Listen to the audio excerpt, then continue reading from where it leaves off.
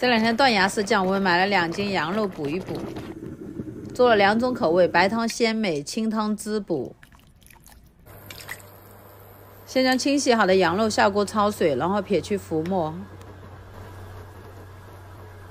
再煮三分钟左右，捞出来。这也太肥了吧！肥一点的挑出来做白汤给老牛吃。加屏幕上的配料，再倒没过羊肉的白开水，然后炖煮四十分钟。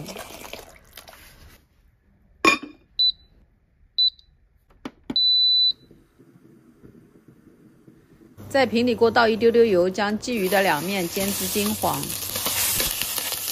炖了十分钟之后，再加白萝卜、煎好的鲫鱼，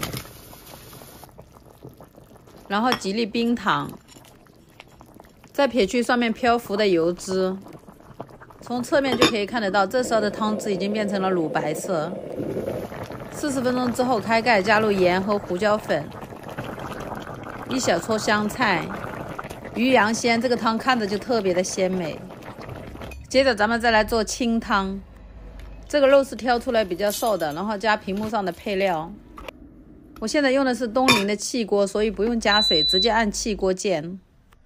看一下三个小时之后，上面已经是满满的汤汁了。这个汤就特别的滋补，不用加盐，带着淡淡的红枣香甜味。